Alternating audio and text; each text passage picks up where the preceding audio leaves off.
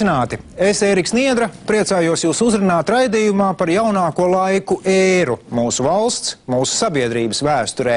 No domām par neatkarību līdz neatkarības atgūšanai, līdz iestāšanās brīdim Eiropas Savienībā, līdz šodienai. Notikumi, kurus redzējām, notikumi, par kuriem lasījām, dzirdējām, par kuriem paši runājām. Notikumi, kuri iespaidoja mūsu dzīvi pēdējo 20 gadu laikā. Sestā sērija 2003. 2005. gads. Karš Irākā, Latvijas spēlē NBA, Džordžs Bušs pustukšā Rīgā, pēdējais armijas iesaukums, Latvija atgriežas Eiropā, vecāki nakšņo skolās. Karš pret terorismu turpinās. Savienoto valstu prezidents Džordžs Bušs nosauc valstis, kas viņa prāta atbalsta starptautisko terorismu, ļaunuma asi, veidojot Irāka, Irāna un Ziemeļkoreja. Abas pēdējās pagaidām neviens neaiztiek, taču Irākā valdošajam Sadama Huseina režīmam gan sākas grūtas dienas. Amerika, pamatojoties uz izlūkdienestu informāciju, apgalvo, ka Huseina rīcībā ir masu iznīcināšanas līdzekļi. Huseins liedzas, nav mūs nekādu ieroču ieroču. Visus, kas bija, sen esam iznīcinājuši. Amerika paliek pie sava. Atdot ieročus citādi būs slikti. Pasaule sadalās divās daļās. Vieni uzskata, ka Sadams melo un tātad nepieciešams Irāku padarīt nekaitīgu. Otri, ka ieroču Huseinam tiešām nav un tātad Irāku jāliek mierā. Vienprātības nav un arī Eiropas valstu vidū. Vairums Austrum Eiropas valstu atbalsta Ameriku, savukārt dažas tā sauktās vecās Eiropas Savienības valstis uz iespējamo karu pret Irāku Irāku raugās bez entuziasma. Francijas prezidents Žaks Širaks pat izmet, ka Eiropas Savienības jaunpienācēji šajā jautājumā palaiduši garām lielisku iespēju paklusēt. Taču jaunpienācēji nav ar mieru klusēt un izrādās teju vai uzticamākie Savienoto valstu politikas atbalstītāji, tostarp arī Latvija. Diskusijas par to, vai mūs jāatbalsta Amerika, nav īpaši garas. Vairums politiķu ir viensprātis. Protams, jāatbalsta. Kas zina, pienāks diena, kad mūs pašiem pašiem būs grūtības, un tad, kā teikt, dots devējam atdodas. Tā nu beigu beigās Amerikas viedoklis Irākas jautājumā gūst virsroku. Sākas karš, kurā Irākas armijai pretīm stājas sabiedroto spēki. To kodolu veido amerikāņi un briti, taču piedalās arī citu valstu karavīri - spāņi, poļi, austrālieši. Mazliet vēlāk pievienojas arī Latvijas vienība. Huseins gan bravūrīgi sola amerikāņus sakaut, taču solīts makā nekrīt. Divu mēnešu laikā aktīvā kara darbība ir galā. Huseina režīms gāsts, bet pats diktators kaut kur paslēpies. Viņu no kāda pagraba izvilks vēl pēc pāris mēnešiem. Sabiedrotie varētu triumfēt, ja nekāds sīks misēklis meklētos masu iznīcināšanas ieročus, kuru dēļ vispār sākās karš, tā arī neizdodas atrast. Ņemot vērā pasaulē notiekošo, arī Eiropas Savienība arvien nopietnāk domā par vienotu drošības politiku. Eiropai nepieciešami ātrās reaģēšanas spēki, kas varētu operatīvi piedalīties krīzes novēršanas operācijās vai humanajās misijās. Tāds ir dalība valstu viedoklis.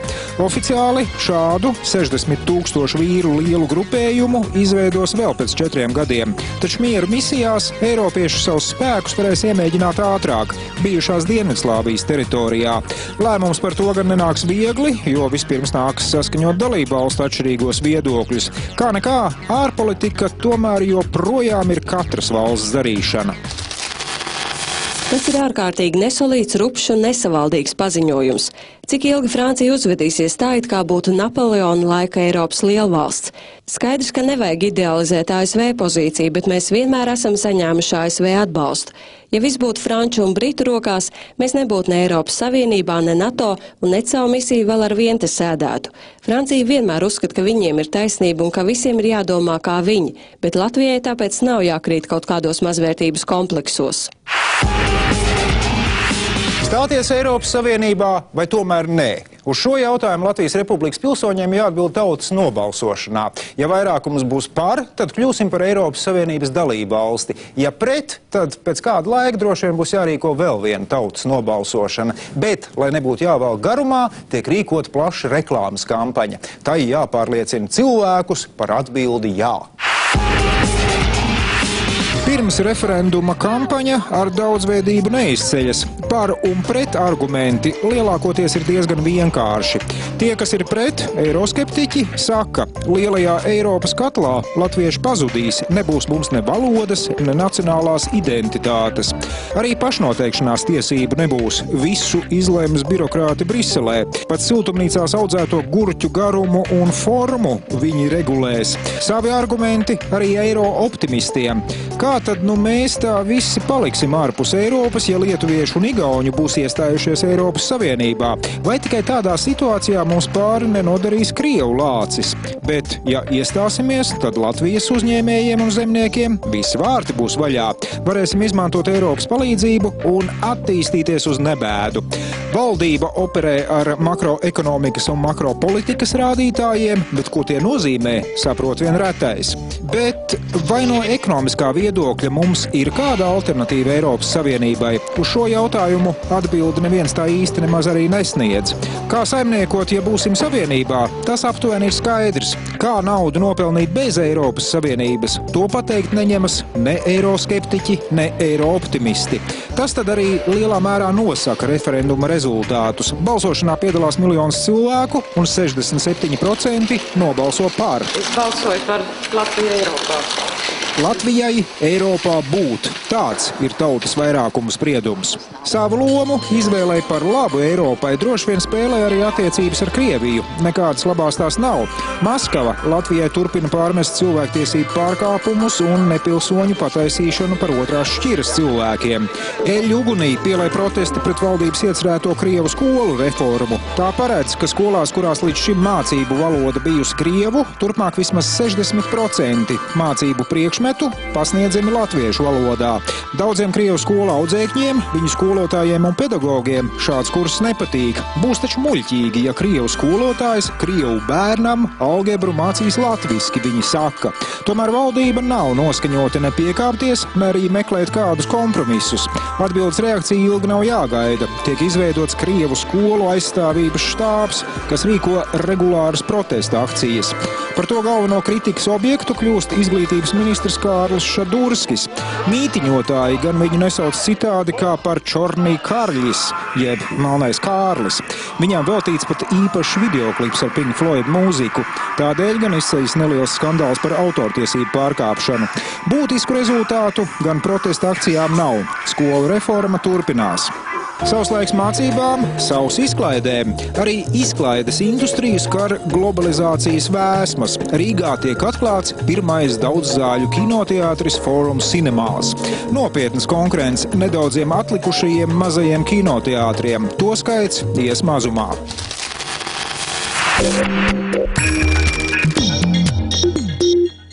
14 kinozāles zem viena jumta. Neko tādu Latvijā līdz šim vēl nebija gadījies redzēt. Kopējais vietu skaits - 3200. Salīdzinājumam Latvijas vecākā kinoteātra Rīga, jeb Splendid Palace, abās zālēs kopā ir 787 vietas, tātad četreiz mazāk. Pirmie daudzzāļu kinoteātri, tos mēdz saukt arī par multipleksiem, parādījās Amerikā 70. gadu beigās. 90. gadu sākumā to mode sasniedz Eiropu, bet vēl pēc desmit gadiem Latviju. Ja vēlamies būt precīzi, fórums cinemās atklāšana notika 2003. gada 30. oktobrī, pulksten 19. Re, man vēl ielūgums uz šo pasākumu saglabājies. Rīgā būvētāji nebija sīkumaini un iekārtoja Eiropas mērogiem cienījamu kompleksu. Tas ir otrs lielākais Ziemeļa Eiropā. Vēl mazliet lielāks atrodas tepat netālu Stokholmā. Latvijas iedzīvotājiem jaunā parauga kinoteātris tā iepatikās, ka pirmajos piecos tā pastāvēšanas gados to apmeklēja 8 miljoni skatītāji. Citiem vārdiem, ik viens Latvijas iedzīvotājs, ieskaitot zīdaiņus un pusaklus sirmgalvjus, to apmeklējis vismaz trīs reizes. Kas tad ir mainījies salīdzinājumā ar ierastajiem vienas zāles ķinīšiem? Skatītāja zāle nav īpaši lielāka, toties ekrāns gan. Šajā lielākajā fóruma cinemās zālē tā izmērs ir 280 kvadrātmetri. Apmēram tikpat, cik trīs vidēji izmēra dzīvokļi. Skatītāju krēsli ievērojami ērtāki un mīkstāki nekā vecajos kinoteātros. Kustoties tajos, nekas nečīkst vai negrab. Ja filma nav īpaši interesanta šādos gandrīz vai klubkrēslos, var pat aizmigt. Protams, ja netraucē skaņas efekti, kas šeit pacelti pavisam citā līmenī. Kādu uz ekrāna šauju vai spridzina, nekādu gulēšanu nesanāks. Vēl viens jaunums - krēsla roku balstā. Iestrādāta vieta dzērienu traukam. Pietiekam daudz vietas atstāts arī skatītāju kājām. Gluži izstiept tās nevar, taču par šaurību nav jāsūdzas. Vienīgais jāuzmanas, lai neapgāstu uz zemes novietoto popkorna turzu. Popkorns tas ir vēl viens kino industrijas jaunums. Jaunums pie mums Latvijā, protams. Rietumos pie kukurūzas pārslu ēšanas kinoteātros jau ir pieraduši. Drīz vien top skaidrs, ka latvieši ir tiešām labi skolnieki un vidējais statistiskais skatītājs bez popkorna turzas zāles slieksni pat nepārkāpja. Bet popkornam klāt piedzer Coca-Colu.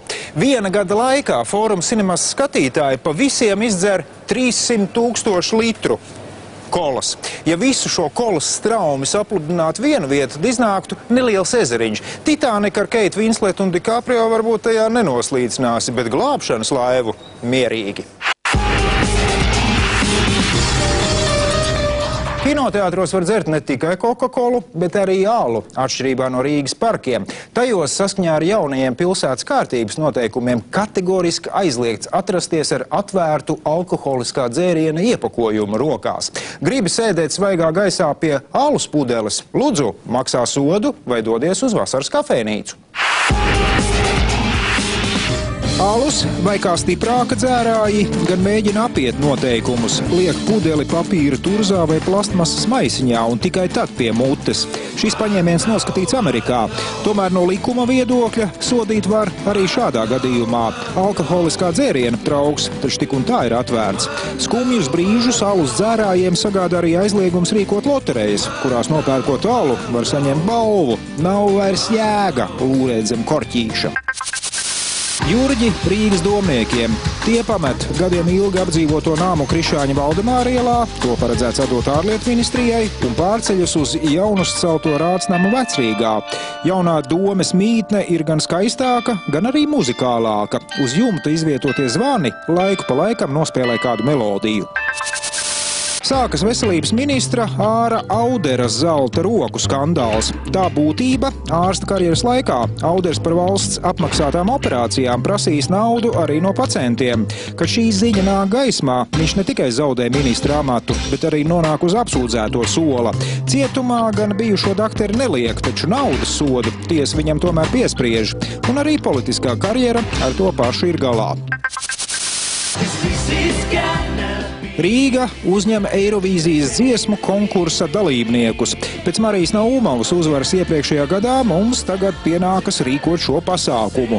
Talkā nāk Zviedrijas televīzijas ļaudis un konkurss norisinās godam. Tiek prognozēta skandalozā Krievijas meiteņu dueta Tatu uzvara, taču vinnē Turcijas pārstāve. Ko latvieši? Mūsu triecienu trio Fly par lielu sarūktinājumu ierindojas trešajā vietā no beigām. Latvijā atkal dziesmu svētki, jau 23. Pirmo reizi šo svētku vēsturē notiek arī kas nepieredzēts. Līdzās 43 jauniešu koriem Skonto stadionā uz skatuves uzstājas un dzied pazīstami pop un rock vokālisti. Instrumentālais risinājums uzticēts grupai Time After Time, bet diriģents ir aizraujošais Normons Šnē. Repertuārā tautā populāri un melodiski mūsdienu latviešu hīti. Neprasts apvienojums, kad klasiska forma saskaras ar mūsdienīgu saturu un īstenojumu. Galvenais - publika ir sajūsmā. Atkal kārtējie strīdi par pieminekļiem. Šoreiz par monumentu, kas veltīts Latviešu Nacionālās pretošanās kustības vadītājam otrā pasaules kara laikā Konstantīnam Čakstem. Iniciatīvas grupa pieminekļu veidošanu uztic tēlniekam Gļebam Panteļējevam. Viņa izstrādātais pieminekļu projekts saucas Ideālisma formula. Tomēr iecer apstājas brīdī, kad pieminekļu gādātāji uzstāja. Monumentam jāatrodas nekur citur, kā vien bijušā Ļeņina pieminekļa vietā. Kad šo vietu neizdodas dabūt, dabūt, iniciatīvas grupa no ieceras atsakās. Bez jauna pieminekļa gan pilsēta nepaliek. Beidzot tiek uzstādīts par ziedojumiem veidotais piemineklis Kārlim Ulmanim.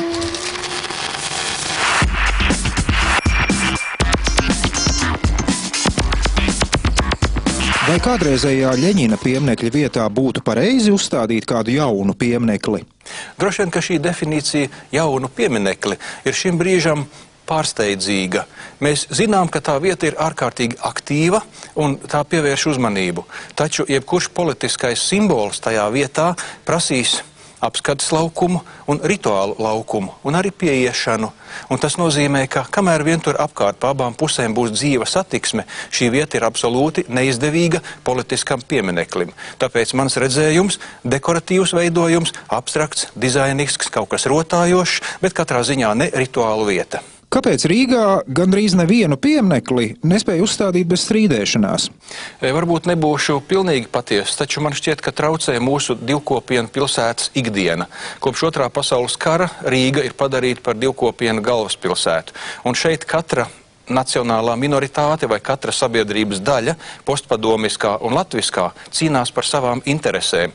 Un mēs ļoti iekaistam aizstāvot savus politiskos svētumus un tieši tāpat krītam par upuri iekaisumam un kaislībām, ja kāds apdraud mūsu elkus.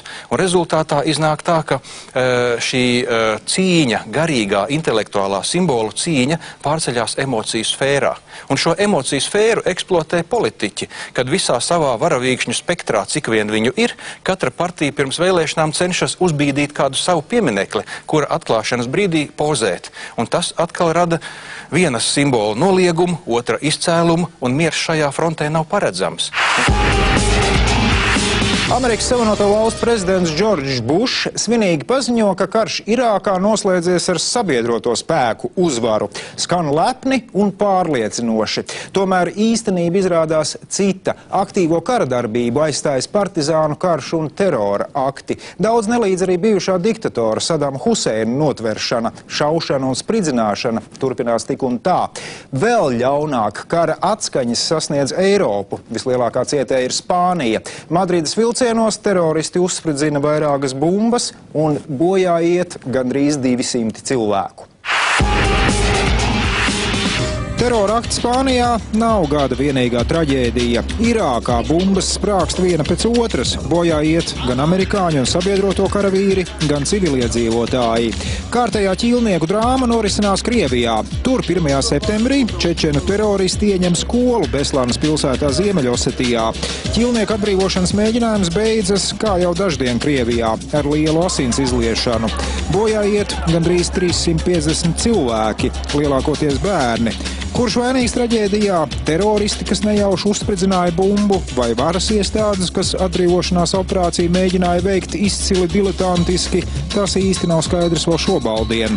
Arī Eiropa dzīvo trauksmes stāvoklī. Spēcdienesti saņem ziņas par plānotiem terora aktiem Londonā un tiek aizturētas aizdomās turētās personas. Operatīvā varas iestāžu rīcība gan teroristu uzbrukums tikai aizkavēs. Pēc gada Londonā tomēr nodārdēs sprādzieni un vairāk vairāki desmiti cilvēki ies bojā. Un spridzinātāji nebūs kaut kādi nesen iesūtīti pašnāvnieki no Arābu valstīm, bet gan cilvēki, kas Anglijā nodzīvojuši teju vai visu savu mūžu. Par terora upuriem var kļūt tik viens. Ar šo nepatīkamo apziņu Eiropiešiem turpmāk nāksies sadzīvot. Bet gadu noslēdz briesmīga dabas katastrofa. Āzija piemeklē zemestrīce un tsunami, kas nokosta Taizemes, Šrilankas un Indonēzijas piekrastes piekrastes rajonus. Upuru skaits ir prātam neaptverams - vairāk nekā 200 tūkstošu. Katastrofas seku novēršanā iesaistās visa pasaule, arī Latvija. Valsts un privātie ziedotāji kopīgiem spēkiem cietušajiem savāc vairāk nekā 100 tūkstošu latu. Bet nav jau tā, ka notiek vien traģēdijas. Ir arī labās ziņas. Piemēram, īrija kļūst par pirmo Eiropas valsti, kas aizliedz smēķēt krogos un citās sabiedriskās vietās. Pīpmaņi ir neapmierināti, tomēr spiesti likumu ievērot. Tā pārkāpējiem draud pāris tūkstošu eiro sots. Turpmāk īrijā krogu atrast būs ļoti viegli. To varēs atpazīt pēc smēķētāju bariņa pie durvīm. Un nebūs ilgi jāgaida, ka arī citas Eiropas valstis sekos īru piemēram, arī Latvija. Īrija pasaules uzmanību pievērš ne tikai ar pretsmēķēšanas likumu viena. Tieši te, Dublinā, svinīgā ceremonijā Eiropas Savienībā tiek uzņemtas jaunas dalību valstis, arī Latvija. Tas brīdis ir klāt. mēs esam uzņemti Eiropas valstu saimē kā pilntiesīgi tās locekļi. Tagad arī Latvijas pārstāvjiem pienākas vietas Eiropas varas struktūrās. Atliek tikai izvēlēties labākos kandidātus, ko deleģēt uz Briseli.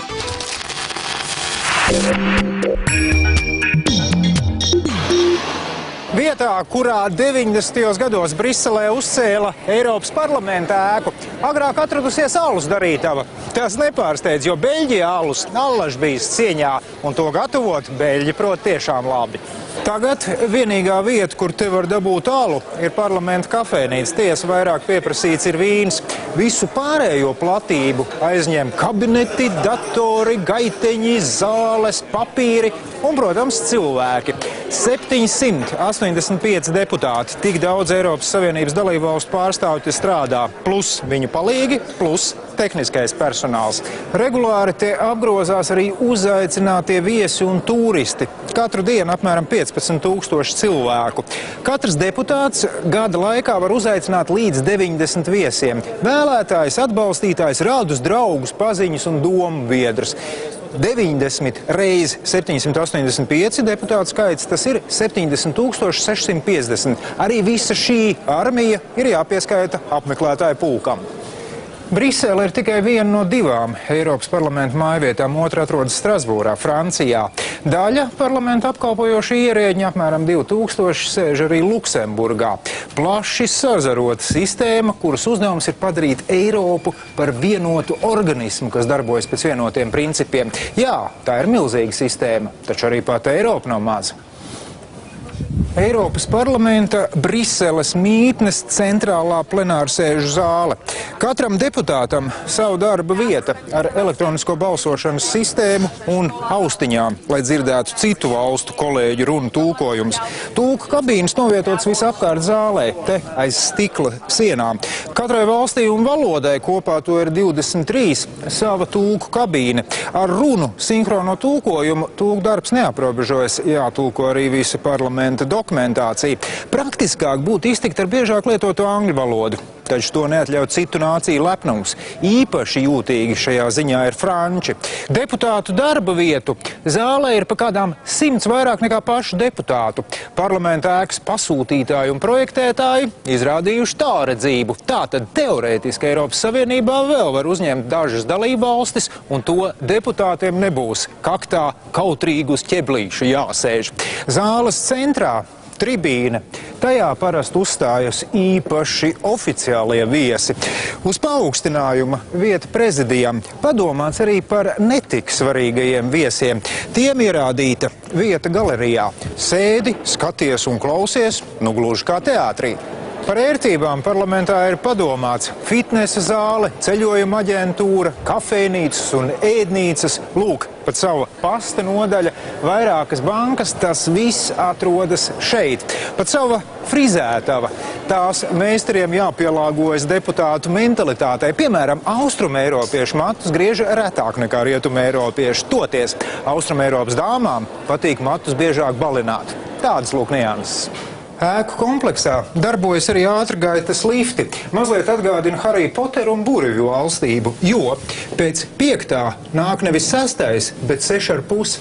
Tas tāpēc, ka šajā ēkā apvienoti vecais un jaunais korpus, kuru līmeņi mazliet atšķiras. Simboliski, gluži kā jaunā un vecā Eiropa.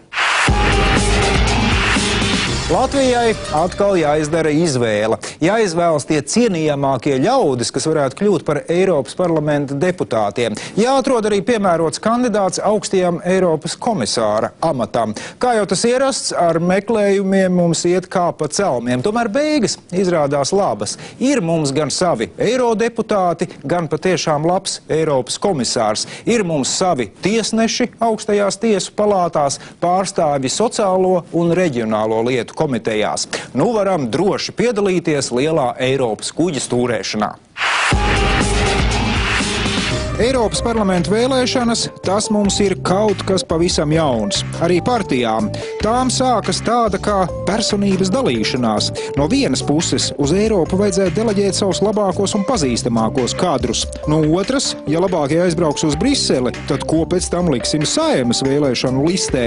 Beigās vinnētāji tomēr ir tie, kas sarakstos ieraksta pazīstamākos uzvārdus. Par tiem vairumā gadījumu cilvēki arī nobalso. Kaut gan balso slinki. Līdz vēlēšanu iecirknim aizsteigā vien 41% vēlētāju. Kādēļ tik zema aktivitāte? Lielākoties tādēļ, ka cilvēki īsti nesaprot, kāds mums labums no dažām dāmām un kungiem, kas Latviju pārstāvēs Briselē. Arī paši politiķi pēc Latvijas iestāšanās Eiropas Savienībā apjūk un sāk minstināties.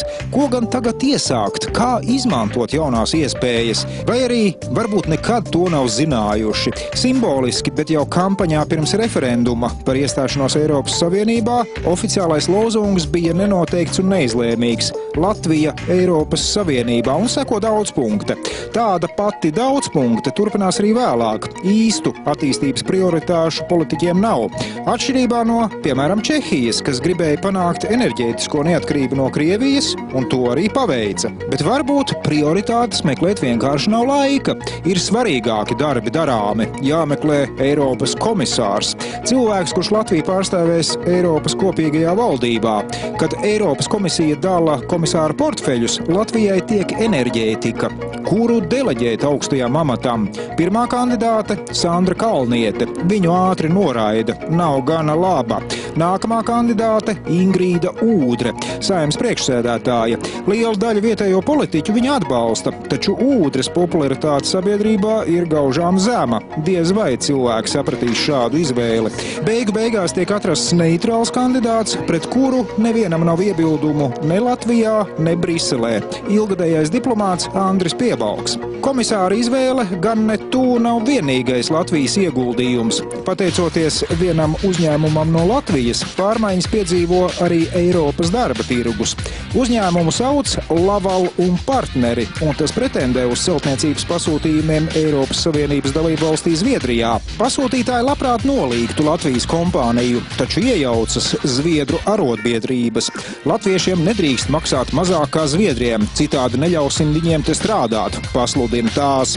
Lai izspiestu lētākos konkurentus no tirgus, tās bloķē celtniecības objektus un beigās panāk savu. Pasūtītāji ir spiesti atteikties no latviešu pakalpojumiem. Latvija meklē taisnību tiesā, un trīs gadus vēlāk Eiropas kopienu tiesa pasludina spriedumu. Taisnība ir Laval pusē, un Zviedru arotbiedrībām nav tiesību uzspiest citiem savu koplīgumu. Tas vērtējums kā pakalpojumu brīvības ierobežojums. Turpmāk šis spriedums kalpos kā precedents līdzīgos gadījumos visā Eiropā. Ar laiku Zviedrija var zaudēt savu sociāldemokrātiskās paradīzes statusu, bet atbildība par to būs jāuzņemas valdībai. Tāpēc tā iekšpolitisku mērķu dēļ pat labam labāk riskē ar Eiropas Savienības ekonomikas pamatprincipu ignorēšanu, nekā pieņem problēmas patieso būtību. Latvijas lavalu un partneri te šķitu šitin piemēroti, kas tur ko nepieveikt mazas nabadzīgas valsts nelielu uzņēmumu. Taču uzvar nenāks viegli, nekas vēl nav beidzies. Patiesībā tikai sācies.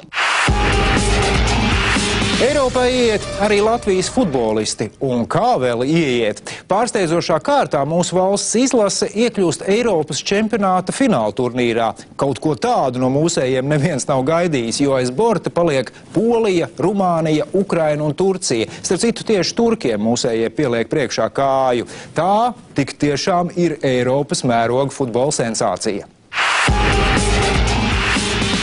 Uz Portugāli, kur norisinās Eiropas futbola čempionāta fināla turnīrs, dodas arī vairāki simti Latvijas fanu. Tālu gan, taču kas zina, kad mūsējiem atkal izdosies iekļūt tāda līmeņa sacensībās.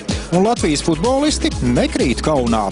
Vispirms pabiedēja Čehus, kuriem Māris Verpakovskis iesit skaistu golu. Tiesa pēc tam Čehi tomēr atspēlējas un Latvija zaudēja ar 1-2. Tad nospēlēja neizšķirti ar Vāciju 0-0 un tikai grupu turnīra izskaņā ar 0-3 zaudējumu spēcīgajai Nīderlandes izlasēji. Svētki arī Latvijas basketbolam. Pirmo reizi pasaules labākā basketbola līga NBA draftē latviešu basketbolistu. 18 gadus veco Andri Biedriņu izvēlas Golden State Warriors, un turpmāko pāris gadu laikā viņam būs lēmts kļūt par vienu no šīs komandas līderiem. Par gadu pieprasītāko pārtiks produktu kļūst parastais rupjais sāls. Cilvēki metas uz veikaliem un kā negudri iepērk to lielos vairumos. Pāris nedēļu laikā no veikalu plauktiem pazūd visi krājumi, ar ko citkārt būtu pieticis gadam. Pie sāls buma ir vainīgas neskur paklīdušās baumas, ka Eiropas Savienībā rupjais sāls ir aizliegts un tātad arī no Latvijas veikaliem tas tūlīt pazudīs. Zemniekiem ir jāsāla produkcija, kā tad viņi viņus sālīs. Ir jābūt tādam normālam. Patiesībā gandrīz vien kļūst skaidrs, ka mēs savu sāli, tā teikt, varam iesālīt. Eiropu tas nemaz neinteresē. Astronaut ir grūti izrunājams nosaukums, tāpēc šo grupu visi dēvē vienkārši par astronautiem. Pilsētas bērnu apvienība, kuras priekšgalā ir meitene no kaimiņu pagalma Māra Upmane. Dibināta 2003. bet ievērība gūst 2004. gadā ar sirsnīgu veltījumu savai pilsētai - dziesmu Daļa Rīgas. Skaidri un patiesi, un varbūt tāpēc atmiņā paliekoši. Gada auto Peugeot 407. Laikā, kad strauji auga jauno automašīnu tirgus, reģistrēta 11,000 jaunu mašīnu, jeb par trešdaļu vairāk nekā pirms gada, šī nelielā, bet simpātiskā mašīna kļūst par vienu no pieprasītākajiem modeļiem. Arī vietējo auto ekspertu aptaujā tā atzīta par labāko. Ar katru gadu ar vien nesaudzīgāka kļūst cīņa ar dzērājiem pie stūres. Sākas tā pēc 2000. gada asņainajiem Jāņiem, kad Līgo svētkos uz ceļiem bojā gāja 28 cilvēki. Tagad modē ir sauklis izglāba draugu. Tas nozīmē neļauj draugam dzērumā sēsties pie stūres. Tiesa, nevienmēr vārda spēks palīdz. Arī šajos Jāņos policija aiztur pustūkstoti ierēbušu autovadītāju. Tādēļ vēl pēc gada tiks pieņemti drakoniskāki mēri. Dzērāju šoferiem bez naudas soda draudēs arī arests.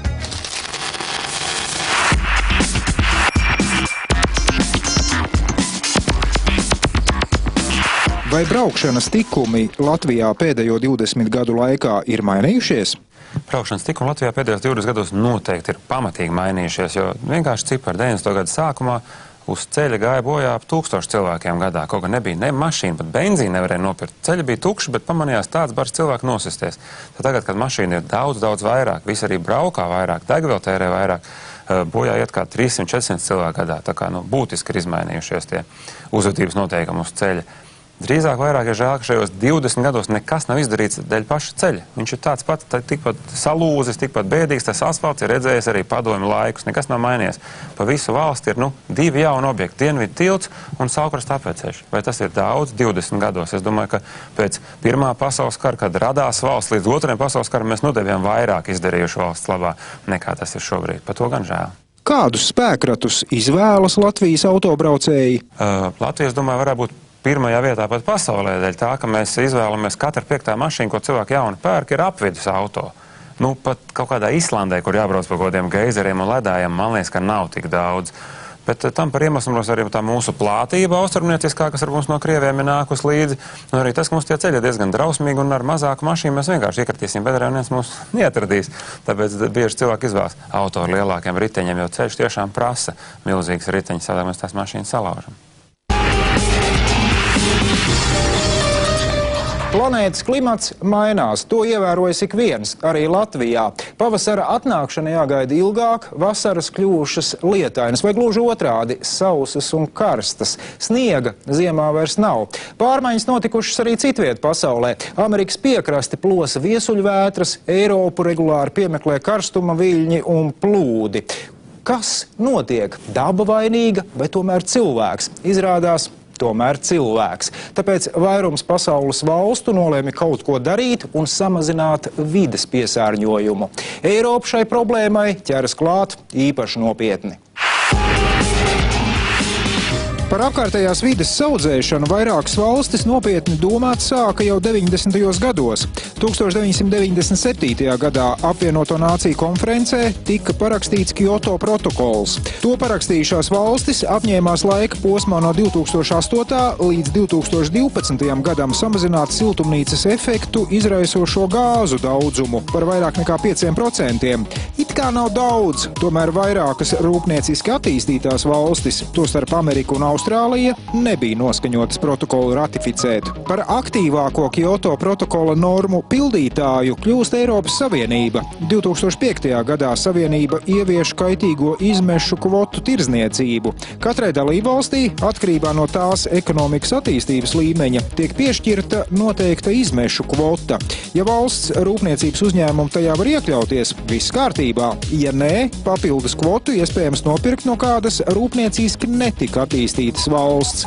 Piemēram, ja Latvija savu kvotu nav pilnībā izlietojusi, tad atlikumu var pārdot Vācijai. Var jau teikt, ka tirzniecība ar atļaujām piesārņot dabu ir amorāla, taču no otras puses, pateicoties kvotu sistēmai, ir cerības kopējo piesārņojumu līmeni ievērojami samazināt.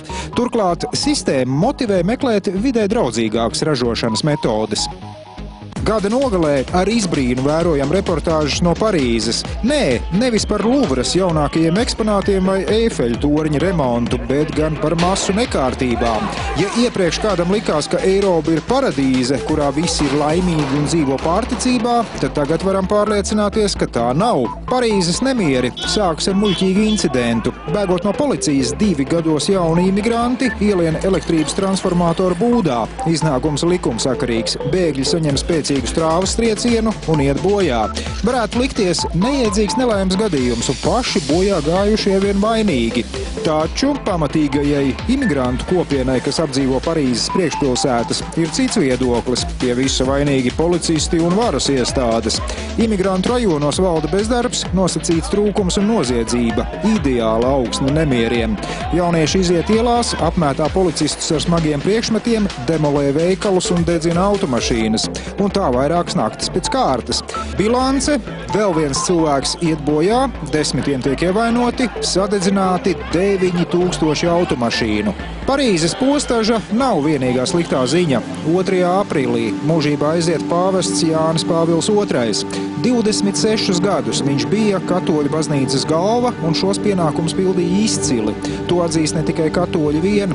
Viņš kļuva par pirmo pāvestu, kurš regulāri apciemoja valstis visdažādākajās pasaules malās, no Filipīnām un Armēnijas līdz Eģiptei un Mehiko. Viņš bija pirmais pāvests, kurš apmeklēja Jeruzālemi un, jā, arī Latviju. Iespējams, bez Jāņa Pāvila II arī Eiropa būtu mazliet savādāka, jo Polijā dzimušā Karola Vojtīlas ieguldījums komunistisko režīmu sagraušanā Austrumēropā nu dien nebija mazs. Romas pāvests nāca no pasaules mēroga mazas tautas, un viņš palīdzēja citām mazām tautām celt savu pašapziņu. 1993. gadā pēc Latvijas pāvis devās uz Igauniju un, lai uzrunātu nedaudzos Igaunijas katoļus, Igaunijā katoļi ir tikai daži tūkstoši, apguva Igauņu valodas pamatus. Kad pēc tam pāvestam tika jautāts, kāpēc viņš apguva Igauņu valodas pamatus, ja Igaunijā katoļu skaits ir tik niecīgs, Jānis Pāvils II atbildēja, ka šie tūkstoši Igauņu katoļu to bija pelnījuši. Uz pāris dienām Rīgas centrs kļūst teju vai izmiris. Ielās gandrīz neviena cilvēka, nav ierastās automašīnu traumas, veikali un krogi kā izslaucīti. Kas noticis? Vai rīdzniekus piemeklējas kāda ļauna kaite, izsludināta karantīnas stunda? Nekā tam līdzīga. Pie mums ciemos brauc Amerikas Savienoto Valstu prezidents Džordžs Bušs, un tāpēc pilsētā ieviesti nelieli drošības pasākumi. Rīgas centrs būtībā tiek slēgts. Ielas nobloķētas ar žogiem, barjerām un bruņu mašīnām. Centra iedzīvotājiem tiek silti ieteikts buša ciemošanās laikā aizbraukt padzīvot kaut kur citur, teiksim, pie lauku radiem. Varas iestādes dara visu, lai prezidentam Omu nesabojātu kaut kādi muļķīgi pārmetumi. Kad daži aktīvisti grib bušam redzamā vietā novietot plakātu, kas aicina padomāt par mieru pasaulē, tad drošībnieki uzskatāmo aģitāciju liek aizvākt tālāk no acīm acīm. Pasaule tiešām ir mainījusies. Tas redzams pēc tā, kā Amerikas prezidents tiekas ar vienkāršo Latvijas tautu. Ja viņa priekšteča Bila Klintona uzrunu pie brīvības piemekļa varēja apmeklēt jebkurš interesants, tad Džordža Buša auditorija tiek rūpīgi atlasīta.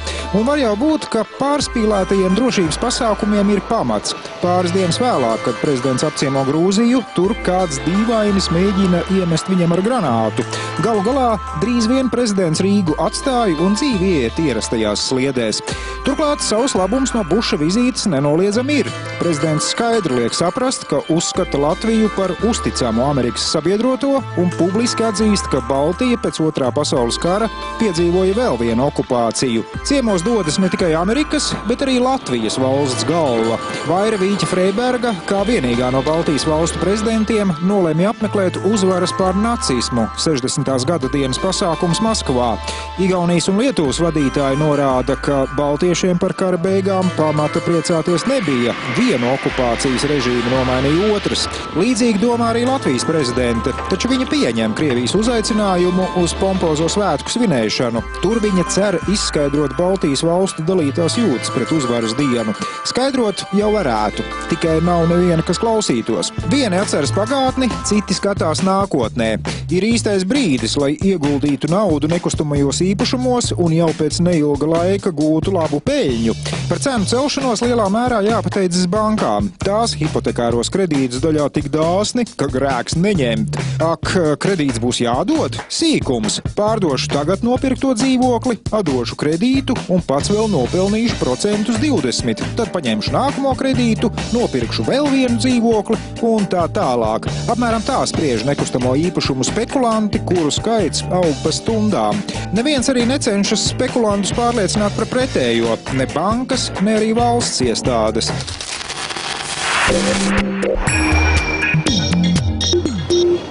Lielisks skats pa augšējā stāva logiem. Viens no papildus labumiem, ar ko nekustamā īpašuma tirgotāji centās pievilināt potenciālos pircējus. Jauna māja, plaši dzīvokļi, apsargājama autostāvvieta. Nu, ko vēl vairāk varētu vēlēties? Jā, nu, mazliet zemāku cenu, bet uz kaut ko tādu nekustamā īpašuma tirzniecības buma laikā bija velti cerēt. Noteikumus diktēja pārdevējs. Gribi pērts, gribi nepērts. Rīt būs klāt jau cits pircējs. Līdz laikiem, kad dzīvoklim vai mājai komplektā piedāvāja arī virtūs iekārtu mašīnu vai ceļojumu, vēl daži gadi bija jāpaciešas. Dzīvokļu izvēle bija pieklājīga. Ja naudiņas mazāk, pērs ģimenes liksdiņu padomu laika paneļmājā kaut kur purciemā. Cena 70 tūkstoši eiro. Ja esi turīgs, lūdzu, pavisam svaigs dzīvoklis jaunā mājā, varbūt pat tū centram. Te cenas varēja sasniegt jau astronomiskus skaitļus. Divi starp dzīvoklis nekustamā īpašuma būma ziedu laikos kādā no augšējiem stāviem varēja maksāt 200 tūkstošus eiro un pat vairāk. Tiesa, augstā cena nevienmēr garantēja arī kvalitāti. Vēl viens klupšanas akmens - nama apsaimniekošana. Gadījās, ka apsaimniekotājs nomainījās, bet jaunais saimnieks par iepriekšējā solījumiem it dzirdēt negribēja.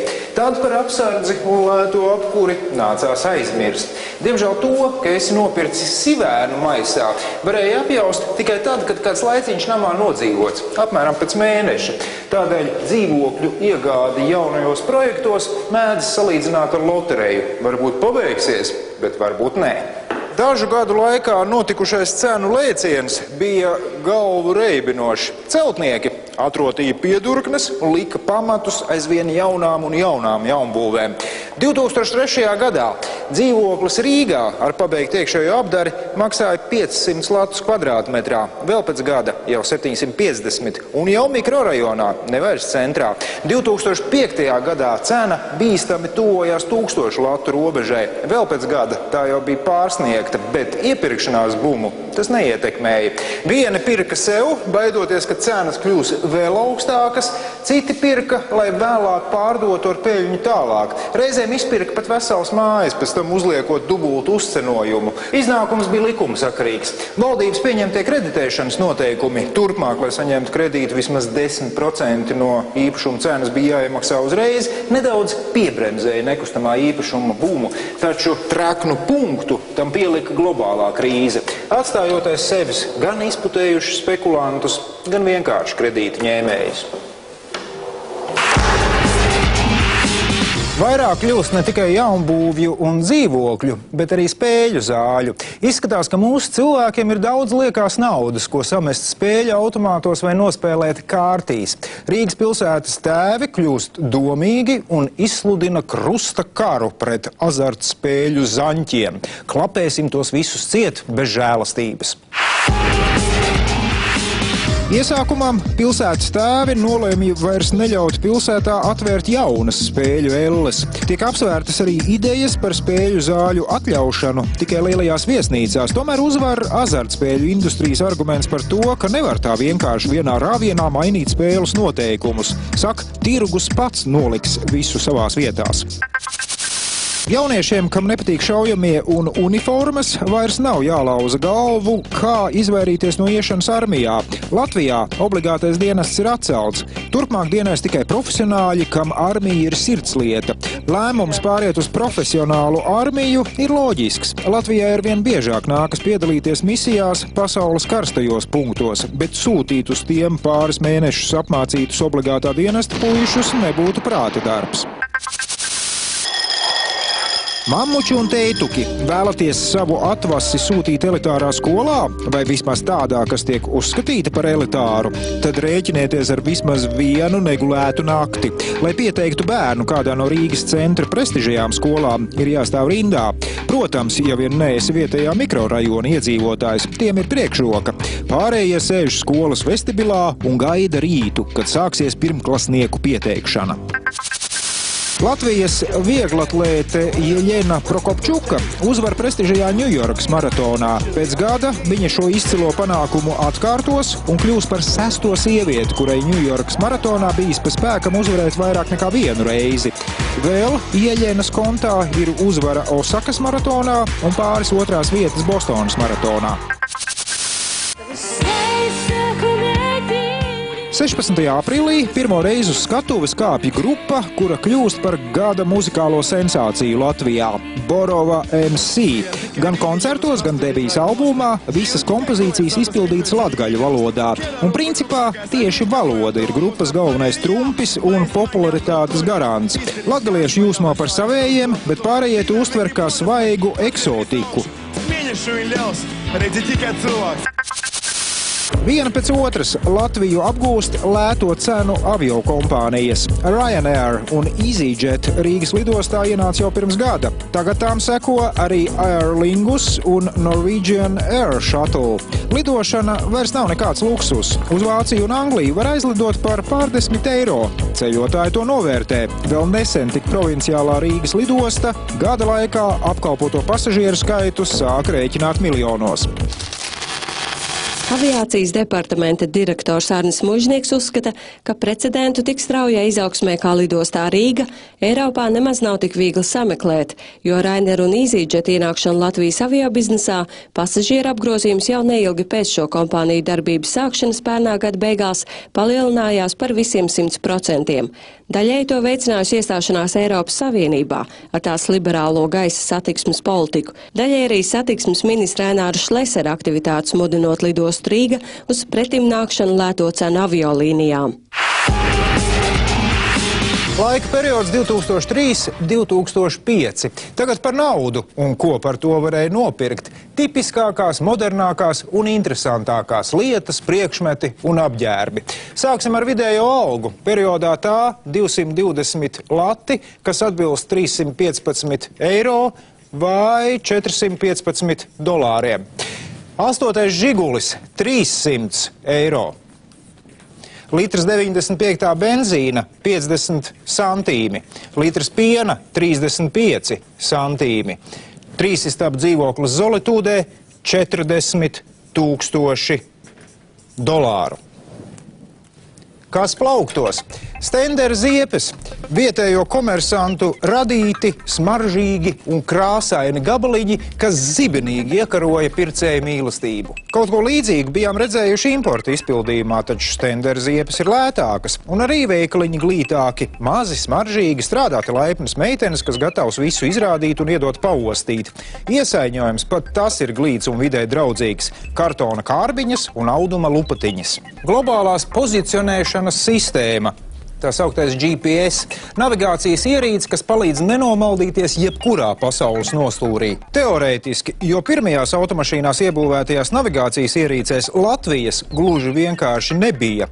Visas Baltijas vietā bija tūkstnesis, tāds balts plankums, taču Rietuma Eiropas kartes bija detalizētas līdz niansēm. Episkās grāmatas par mazo bāra bērnu burvi Hariju Poteru izraisīja īstu poteromāniju visā pasaulē. Nu, kādēļ Latvija, lai būtu izņēmums? Arī pie mums Joanas Rowlingas sarakstītās grāmatas iekārtojās bestselleru saraksta augšdaļā. Zināmā mērā par to droši vien jāpateicas veiksmīgajam tulkojumam.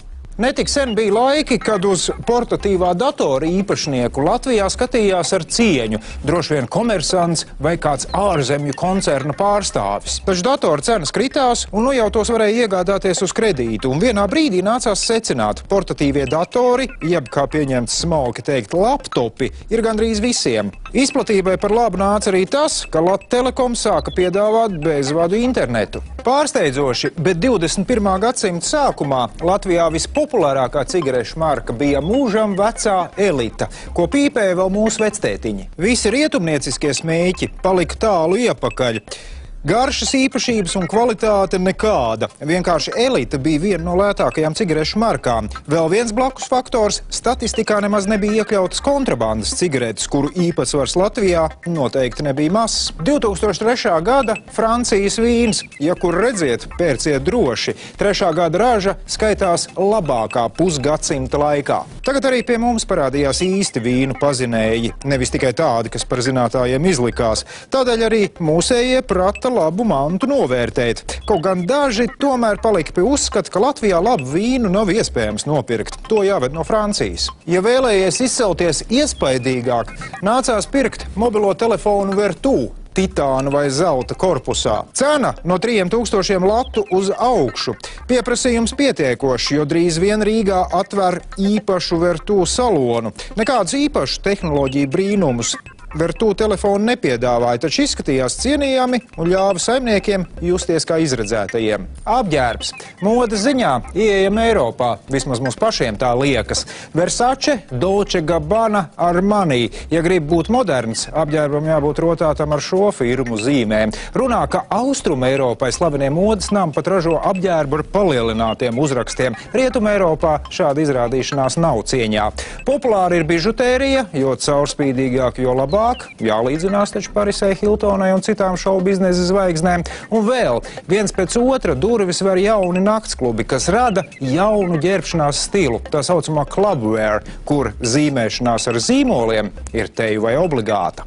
Tā bija dokumentālā seriāla atgriešanās Eiropā sestā sērija. Nākamajā reizē 2006. 2008. gads. Lielais hokejs Rīgā no bronzas Aļošas līdz Hugo Bossa veikalam, Latvijas lācis Igaunijas salā, dārgo automobīļu bums, Rīgas dome pret sekstūristiem, Nothing Special un globālā krīze. Visu labu! Līdz nākamajai sērijai!